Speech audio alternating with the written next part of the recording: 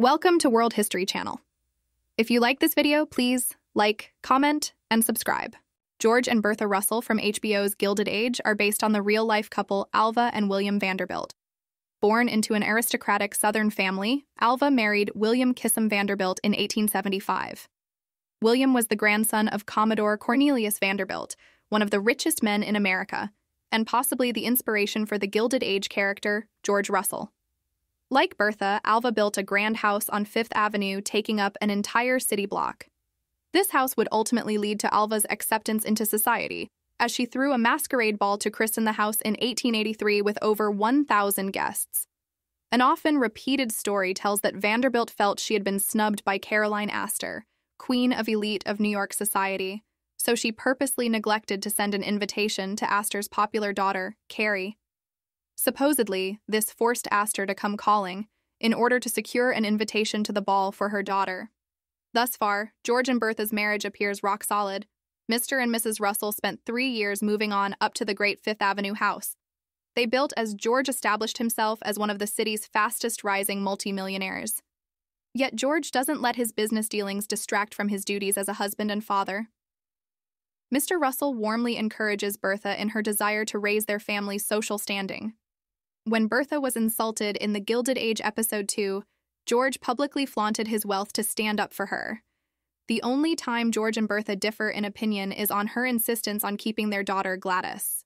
As much as George supports Bertha's goals, she also admires her husband and reminds him that even if they lose their fortune, he has the acumen to make another with her help. George and Bertha share the strongest marriage in the Gilded Age, but they do have separate bedrooms. As strange as it seems in the 20th century, married couples in the 19th century didn't sleep together.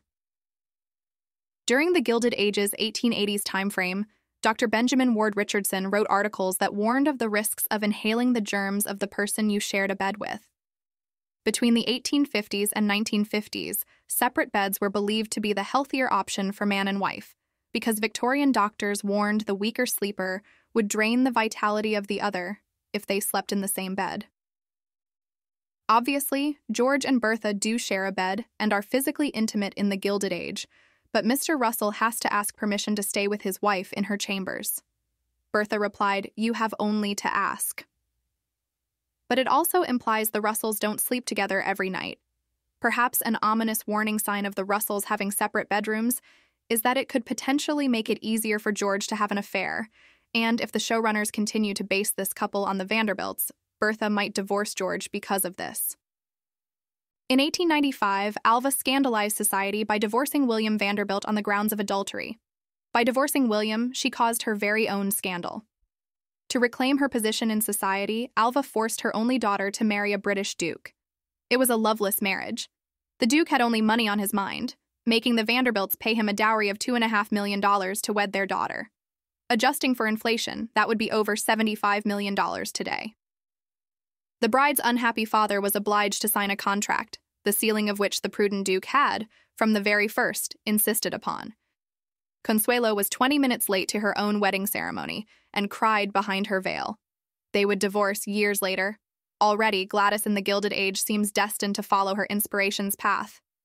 Like Consuelo, her parents dismissed her first love, an affable American who, albeit from a good family, would have done nothing to advance the family's position.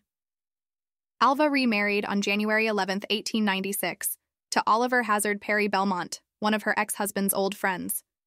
Oliver had been a friend of the Vanderbilts since the late 1880s, and like William, was a great fan of yachting and horse races.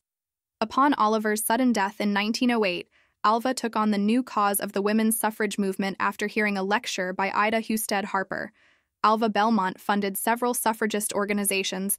She supported Anna Howard Shaw as president of the National American Woman Suffrage Association and financed a national headquarters in New York City. Later, influenced by the more aggressive tactics of Emmeline Pankhurst in England, she supported Alice Paul and the more radical National Woman's Party, including their campaign of picketing the White House. She served as president of the National Woman's Party after passage of the 19th Amendment when the organization continued advocacy on issues such as an equal rights amendment. She suffered a stroke in the spring of 1932 that left her partially paralyzed, and she died in Paris of bronchial and heart ailments on January 26, 1933.